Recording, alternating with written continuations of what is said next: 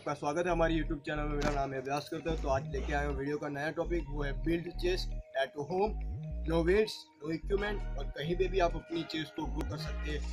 पाँच पुशअप ऐसे हैं जो आप घर पे लगा सकते हैं, कहीं पे भी आप लगा सकते हैं। आप बाहर रोड पे भी आप पुशअप्स लगा सकते हैं। पाँच बेसिकली बेस्ट पुशअप है। तो करते हैं स्टार्ट वीडियो तो हमारा पहला पुशअप आता है नॉर्मल पुशअप तो उसके लिए क्या करना है? नॉर्मल पुशअप पोजिशन मैंने वीडियो बनाया सब कैसा लगाते हो वो आपको देखना हो तो हमारे चैनल पर जाके देख सकते हैं और देखिए।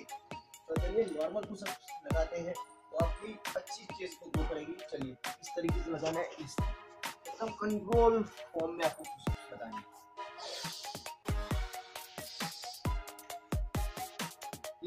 आपको नॉर्मल पुशअप्स लगाने हैं इसके आपको तीन सेट लगाने हैं रेपिटेशन पहले आप 10 से 12 ही लगाए, उसके बाद आप एडवांस में जा सकते हैं, पंद्रह बीस लगा सकते हैं। तो अब चलते हैं हमारे दूसरे पुशअप्स की ओर।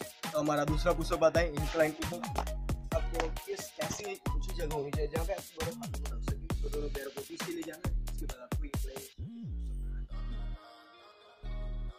बहुत लगा सकते हैं घर पे। ही आप कभी भी लगा सकते हैं आपको इसके तीन तीन सेट लगाने रेपिटेशन दस से बारह ही लगाने अब हम चलते हैं हमारे तीसरे तीसरा पुशअप है हमारा डिंक्लाइन पुशअप ऊँची जगह पर आपको पैर रखने और आपको थोड़ा सा नीचे करना पैरों पर रख दिया आपने। उसके बाद दोनों हाथों को थोड़े शोल्डर थोड़ा सा बाहर रखना है। इसके बाद आपको ये पुशअप्स लगाने हैं। और इसके आपको तीन सेट लगाने रेपिटेशन वही दस से बारह ही लगाने अब हम चलते हैं चौथे चौथे पुशअप की ओर। चलते हम चौथे पुशअप की ओर।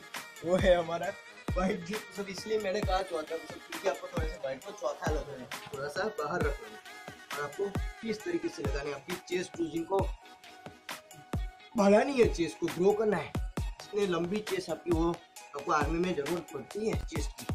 इसके लिए वाइट ग्रुप पुशअप बहुत अच्छा है। इसके आपको तीन सेट लगाए रेपिटेशन वही दस से बारह ही लगाने हैं, उसके बाद आप पंद्रह से बीस रेपिटेशन लगा सकते हैं। चलिए अब चलते हैं हमारे आखिरी पुशअप की ओर। तो अब हमारा आखिरी पुशअप डायमंड पुशअप मैंने वीडियो भी बनाया उसका भी वीडियो मैंने बनाया डायमंड पुशअप इस तरीके से लगाते हैं। चलिए, आपको यही पोजिशन में आना है। और इस तरीके से आपको पुशअप लगाने हैं। डायमंड पुशअप आपकी जींस की जो बीच की वाली लाइन होती है, अक्सर लोगों को मैंने जाना है कि लोग कहते हैं कि मेरी बीच की लाइन जो चेस्ट होती है, उसकी बीच की लाइन में अच्छी नहीं दिख रही है। चेस्ट को आपकी ग्रो कब होगी अच्छी आपकी बीच की लाइन भी अच्छी दिखे। उसके लिए आपको डायमंड पुशअप्स लगाने, बहुत अच्छी इफ़ेक्ट मिलेगा आपको। और ये वीडियो हमारा पुशअप्स वाला वीडियो अच्छा लगा हो तो हमारे चैनल को लाइक कीजिए, शेयर कीजिए, सब्सक्राइब कीजिए सब्सक्राइब कीजिए। तब तक के लिए जय हिंद।